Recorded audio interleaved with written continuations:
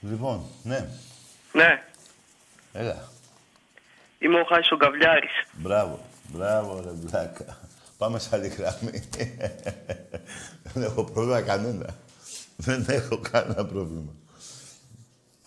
Βρες το διπλανό σου και κάντε το. Εμπρός.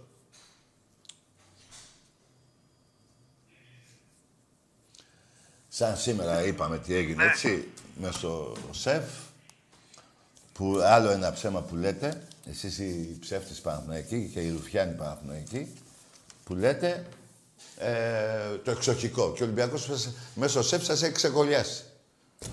Ποιο εξοχικό; Τι εξοχικό;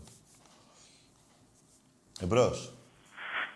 Ε, θέλω να πω γαμώτα για να κόψω. Ναι, μην βρίζετε τον πρόεδρο του Παναθηναϊκού. Δεν, δεν χρειάζεται. Λοιπόν, άκουσε με.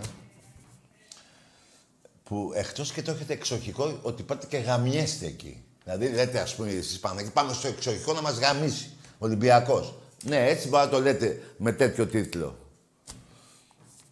Πολλές πιο πολλές νίκες έχει ο Ολυμπιακός, τουλάχιστον 50. Ε, από ό,τι θυμάμαι 57-19. Θα το βρω στο διάλειμμα.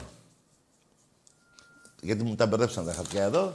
Μπορεί να το βρω όμως. Δεν είναι τίποτα. Εμπρός. Δεν γίνεται να μην το βρω. Τα έχω όλα εδώ. Όλα εδώ. Έχω και πολλά, ναι. Για πάμε. Ναι. Ναι.